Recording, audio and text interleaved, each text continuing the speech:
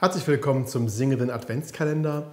Heute am Nikolaustag singen wir mit dem evangelischen Kinderchor aus Gotha Lebensgeister das Lied Der Bischof von Myra, die Nummer 6 in Durch Hohes und Tiefes. Viel Freude und singen Sie mit.